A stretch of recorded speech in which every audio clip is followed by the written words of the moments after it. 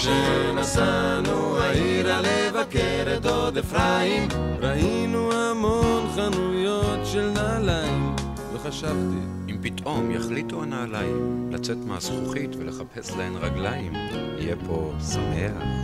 כשנסענו העירה לבקר את דוד אפרים, ראינו חנויות צעצועים בגבעתיים. שאלו אותי, מה אתה רוצה? אמרתי, אופניים.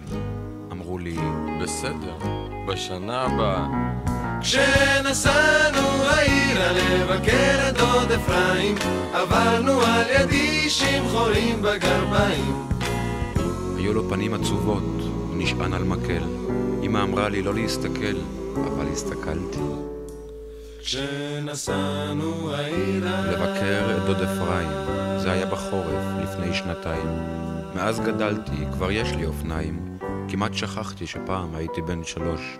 רק האיש העני, עם החורים בגרביים, לא יוצא לי מהראש.